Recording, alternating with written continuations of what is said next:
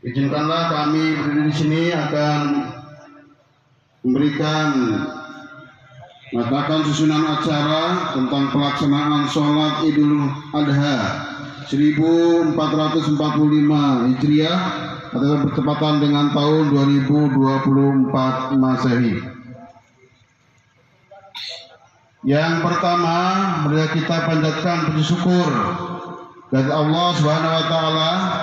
Alhamdulillah pada pagi hari ini kita bisa bersilaturahim, bisa berkumpul di lapangan Garuda Genteng Sindang Haji ini dalam rangka pelaksanaan sholat Idul Adha 1445 Hijriah atau tahun 2024 Masehi khususnya di tingkat Desa Panimbang dan Bantar Panjang.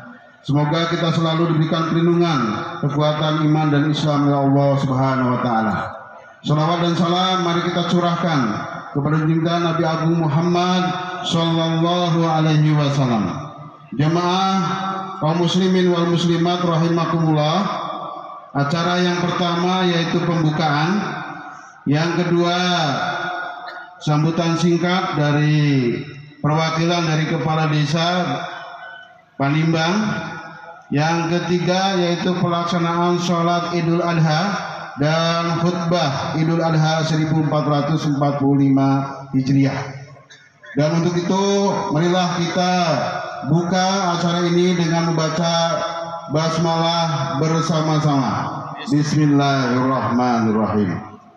Untuk selanjutnya yaitu sambutan singkat oleh Kepala Desa Panimbang kepada yang saya hormati Bapak Jatmiko pada beliau dipersilakan.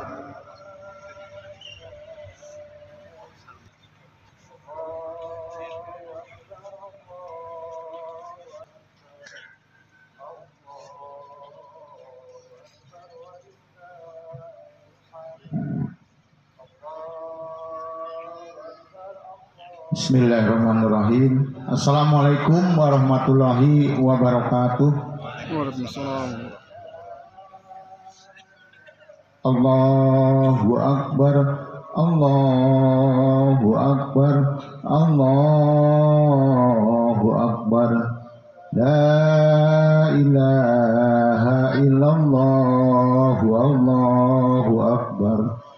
Allahu Akbar walillahil.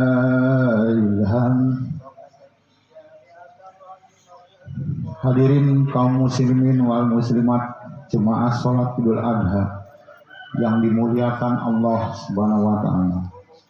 Izinkan saya mengajak kita semua untuk mempersembahkan segala pujian dan syukur tak henti-hentinya hadirat Allah Subhanahu wa taala Tuhan yang Maha Penyayang lagi Maha Pemurah yang senantiasa memberikan kebaikan dalam kehidupan kita dalam menuntun kita dalam menjalani hidup sehari-hari atas ridhonya juga hari ini kita masih diberi kesempatan untuk menunaikan dan memuliakan hari raya Idul Adha tahun 1000 445 Hijriah 2024 Masehi. Salawat dan salam semoga senantiasa tercurah kepada junjungan kita Nabi besar Muhammad Sallallahu Alaihi Wasallam beserta keluarga dan para sahabat-sahabatnya dan semoga kita semua mendapat sahabatnya hingga yaumil kiamah Allahumma amin. Melalui kesempatan yang berbahagia ini, saya secara pribadi dan atas nama pemerintahan Desa Panimbang dan Desa Bantar Panjang mengucapkan selamat Idul Adha 1445 Hijriah dan selamat menjalankan ibadah kurban kepada segenap kaum muslimin dan muslimat di Desa Panimbang dan Desa Bantar Panjang yang menunaikannya jemaah sholat id yang dimuliakan Allah. Kita pahami bersama bahwa hari raya Idul Adha juga berkaitan dengan ibadah haji. Saat ini saudara-saudara kita umat muslim dari seluruh dunia sedang melaksanakan rangkaian ibadah haji.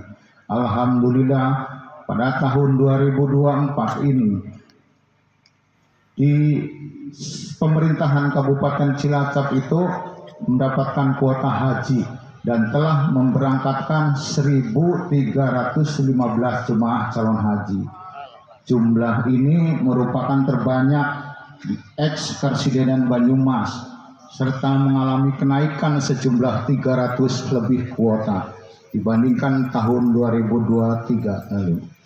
Untuk kita marilah berdoa semoga saudara-saudara kita yang sedang menunaikan ibadah haji senantiasa diberikan kesehatan, kekuatan, kemudahan dan kelancaran dalam menjalankan ritual ibadah haji sehingga seluruh rangkaian ibadahnya dapat dilaksanakan dengan khusyuk dan tawaduk serta bisa kembali ke tanah air dengan selamat dan berkumpul bersama keluarga dan yang lebih penting lagi dapat pulang dengan menyandang predikat haji yang mabrur dan mabrurah. Amin ya robbal alamin.